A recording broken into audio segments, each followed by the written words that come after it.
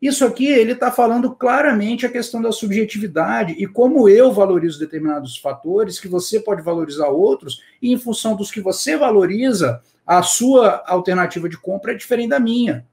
Por isso que jamais funciona essa história de seguir é, cegamente uma dica quente, porque, pô, você não pensa igual ao, ao sujeito, porque, porque você é diferente dele. Não é verdade?